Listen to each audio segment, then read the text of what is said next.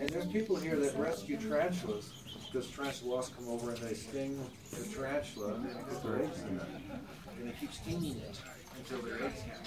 So people rescue tarantulas here. I can't survive that. You can tell they're just catching a tiny fraction of the birds that are here. And so they, they nurse them back to health.